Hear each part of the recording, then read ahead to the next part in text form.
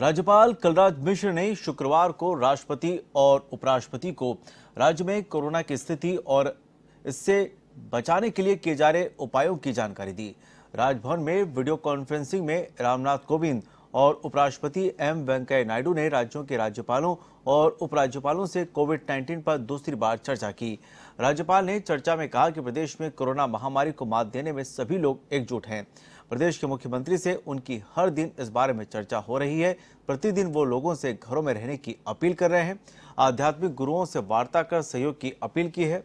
राज्यपाल ने बताया कि राज्य में ग्राम पंचायत स्तर पर कम्युनिटी किचन के माध्यम से जरूरतमंदों को भोजन की व्यवस्था भी की जा रही है।